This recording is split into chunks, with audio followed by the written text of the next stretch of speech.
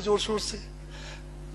भारत के महान प्रधानमंत्री, यशस्वी प्रधानमंत्री, अब मैं ये पूछना चाहता हूँ, भूटान को दस हज़ार करोड़, मंगोलिया को सत्तर हज़ार करोड़, बांग्लादेश को पंद्रह हज़ार करोड़ मॉरिशस को पाँच हज़ार करोड़, नेपाल और अफ्रीका के देशों को उनतालीस अरब करोड़, सरदार स्टैचू को तीन हज़ार करोड़, उद्योगपतियों का ऋण माफ़ करने के लिए पाँच लाख पचपन हज़ार करोड़, मोदी की विदेश यात्राओं पर पच्चीस सौ पच्चीस सौ करोड़ पच्चीस हज़ार करोड़ और बीजेपी का मुख्यालय का 350 करोड़, मोदी और बीजेपी के विज्ञान पे 5000 करोड़, मोदी की सुरक्षा में 24 घंटे में एक करोड़ रुपए दिन का खर्च कर रहे हैं और साल में पाँच करोड़ 30 लाख रुपए आप खर्च कर रहे हैं। और फिर, और पिछले पाँच सालों में कुंभ के मेले में पंद्रह हज़ार करोड़ और यूएसए के प्रेसिडेंट ट्रंप को नमस्ते करने के लिए 100 करोड़। तो ये यशस्वी प्रधानमंत्री है। क्या इस किस्म के प्रधानमंत्री को यशस्वी कहेंगे? आपने आपने जो है भारत को आपने भारत को उच्चतम बेरोजगारी के दर पर पहुँचा दिया है। आज विश्व में भारत जो है भूख भूख के भूखमरी में बांग्लादेश से भी नीचे है। आज पाकिस्तान से भी नीचे है। जिस देश में 25 परसेंट जो है रात को भूखा सोए उस देश का प्रधानमंत्री यशस्वी है।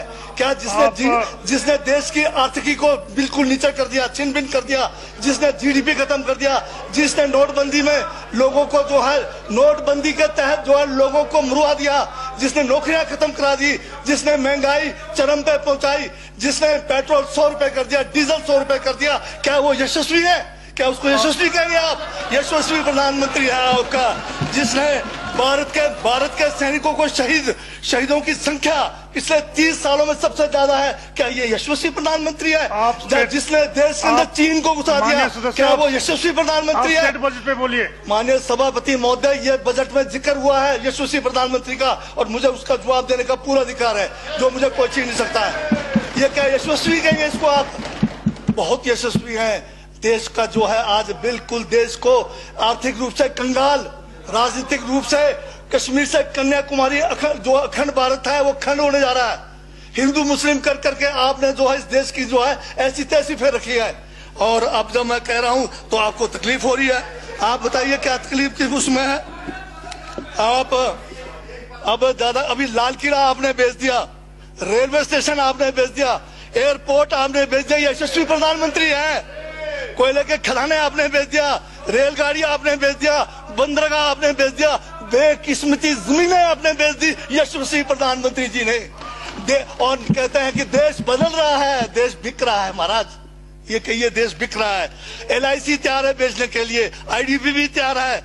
ये जो एयर इंडिया तैयार रखा हुआ है बीएसएनएल बेचने वाले हैं ओएनजीसी बेचने वाले हैं। छोड़ने वाले क्या? आखिर में ये देश को भी बेच के चले जाएँगे। क्या है उनका एक जोला है जोला लेके चल पड़ेंगे। ये है आपका यशस्वी प्रधानमंत्री। ये यशस्वी प्रधानमंत्री है, दाढ़ी बढ़ाने से टैगोर नहीं बन जाते। टैगोर के गुण लाने के लिए दोबारा जन्म लेंगे, सौ बार तब भी नहीं आएगा। हाँ दाढ़ी बदल के और मेकअप करा के पंद्रह पंद्रह लाख के, उससे कुछ होने वाला नहीं है आपका। ना, बिल्कुल और जो जहर आप लोगों ने जो है, इतने सालों में इस देश के अंदर जो है, आपने जो इस देश में बीजा है, उससे वो जो है ये बजट पे ही है। Sir, speaker sir speaker sir speaker sir, यश, यशस्वी प्रधानमंत्री जी का ज़िक्र बजट में आया है, इसलिए मुझे भी जवाब देना पड़ा है। और मैं यहाँ ये कह के इस बात को, इस बात को समाप्त कर देना चाहता हूँ, बर्बाद बर्बाद गुलदिस्ता करने को तो एक उल्लू काफ़ी था। हर शाख पर उल्लू बैठा है। अंजाम गुलिस्तान का क्या होगा?